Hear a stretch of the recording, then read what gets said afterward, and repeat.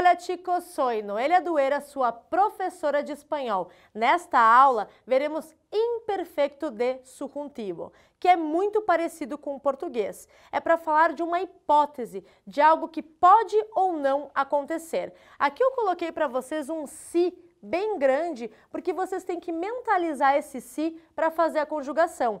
Esse se equivale ao nosso se. Então, por exemplo, como é que eu conjugo um verbo regular terminado em ar? Se yo hablara, se tu hablaras, se él hablara, se nosotros habláramos, se vosotros hablarais, se ellos hablaran. Percebam aqui que o único acento é em nosotros, mas vocês também podem falar se yo hablase, se tu hablases, se él hablase, si nosotros hablásemos, si vosotros hablasseis, se ellos hablassem.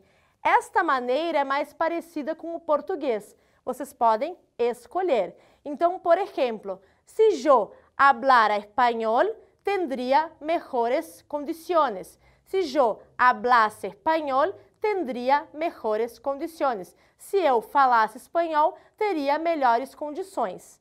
Tranquilo? Ficou fácil?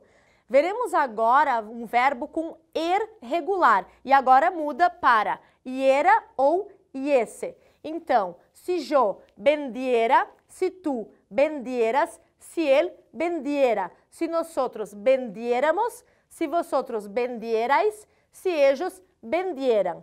Também é opcional. Se eu vendiese, se tu vendieses, se ele vendiese si nosotros vendiésemos, si vosotros vendieseis, si ellos vendiesen. Si ellos vendiesen el coche más barato, estariam com la plata agora. Se eles vendessem o carro mais barato, estariam com o dinheiro agora.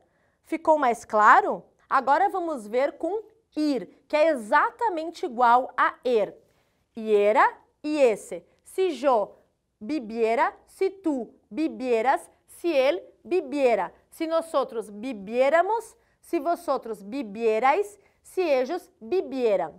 Também temos a opção de se eu bibiese, se tu bibieses, se ele bibiese, se nosotros bibiésemos, se vosotros bibieseis, se ellos bibiesen.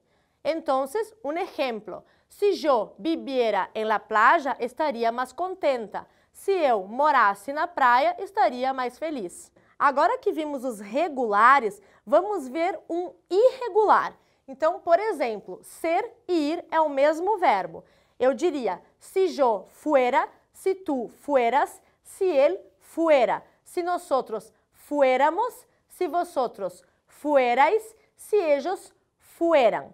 Também temos a possibilidade, se yo fuese, se tu fueses, si él fuese, si nosotros fuésemos, si vosotros fuesseis, si ellos fuessem. Percebam que tem as duas maneiras. E aqui também nosotros é o único que vai acento. Se fuéramos mais tranquilos, conseguiríamos melhores resultados. Se fôssemos mais tranquilos, conseguiríamos melhores resultados.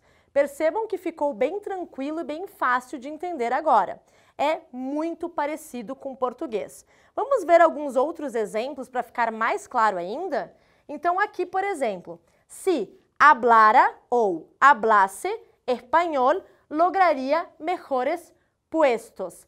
Se falasse espanhol, conseguiria melhores cargos. Lograria é conseguir e não lograr como no português. E puestos é cargos.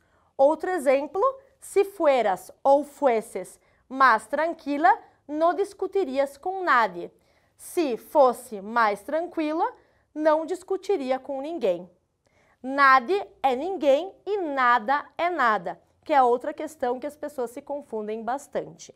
Então, nesta aula, vimos imperfeito de subjuntivo, que é uma hipótese de algo que talvez ocorra ou não e a gente usa este se para facilitar. Então, nesta aula vimos verbos regulares terminados em ar, er, ir e o verbo irregular ser e ir.